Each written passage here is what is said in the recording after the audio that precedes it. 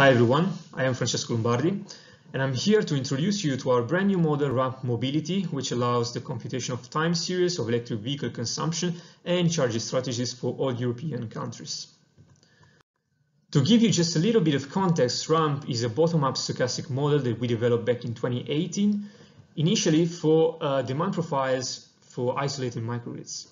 But soon we realized that the approach was versatile enough to be applied to any kind of user-driven demand profile. And so we came out with cooking profiles or domestic hot water profiles even at the country scale. And finally, this year we realized it was time for a RAMP mobility application. RAMP mobility is composed of two main modules. The first module is devoted to the computation of so-called mobility profiles, which means the driving pattern of each vehicle within a given population with its associated battery consumption. This kind of output has been validated against data, real data provided by Elaad for the Netherlands, showing a good accuracy.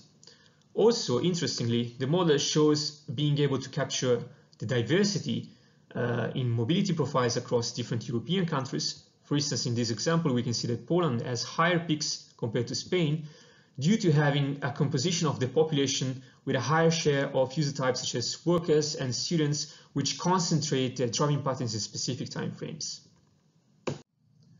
The second module of Ramp Mobility allows us to simulate the charging profile for each vehicle to respect the mobility profile that we have just computed.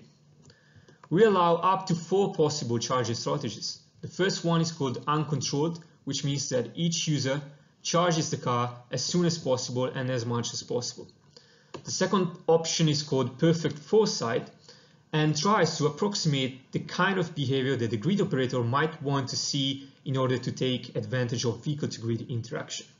Finally, we have another two options. The first one is called night charge, in which everyone basically just charges the car during the night if possible.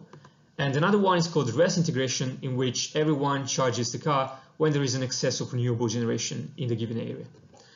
Of course, these latter two options are a bit unrealistic, are a bit extreme, but still we provide all of them for each user of Ramp Mobility to make its own mix of strategies according to what they think is most realistic.